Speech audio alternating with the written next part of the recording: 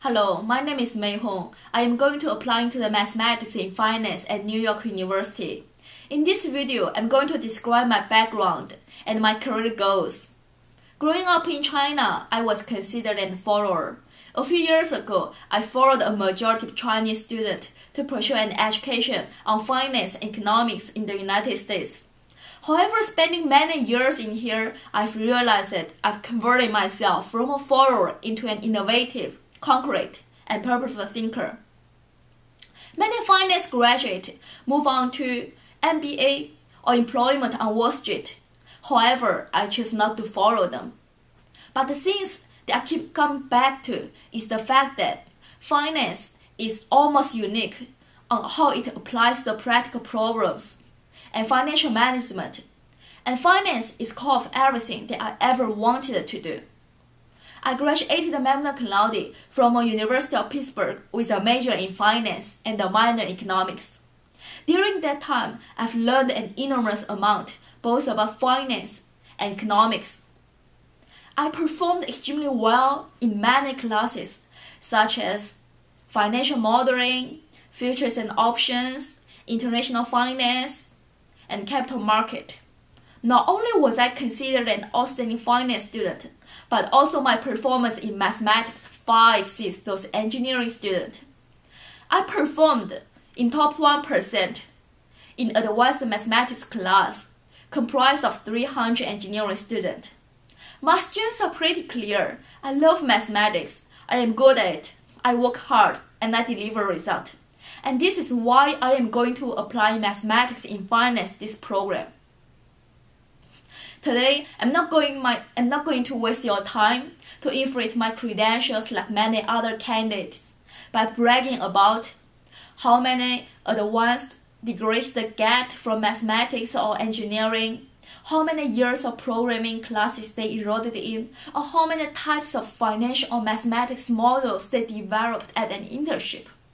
The truth is, other than finance and economics, I haven't built a solid foundation in quantitative subjects such as in the areas of programming, science, or engineering. But I believe that those knowledge can easily obtained, especially from a curious, strong-minded, and diligent student like myself.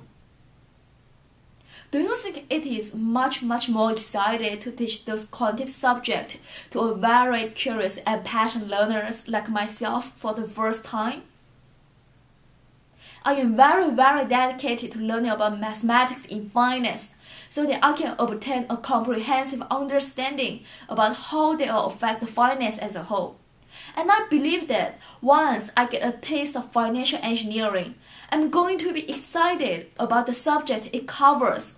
And I believe it is the only few subject that will be extraordinarily challenging and at the end of the day, it is really practical. Through this program, I'm really interested in learning about the mathematics theory behind the option pricing, and I hope to be directly involved with fellows and other finance professionals. This program will also allow me to work towards my goal of becoming a derivative trader in China. One day, I aspire to open my own hedge fund firm in China.